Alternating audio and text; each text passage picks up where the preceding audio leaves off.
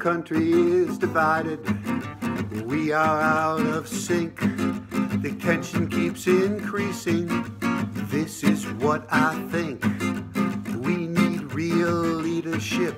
We don't need a hypocrite. Gandhi cared and didn't eat. You watch Fox and tweet. We won't let you bully us. We won't go together and resist every day. Well, fuck the wall and fuck it all. I can't take it no more. Fuck the wall, fuck your plans, but fuck you most of all.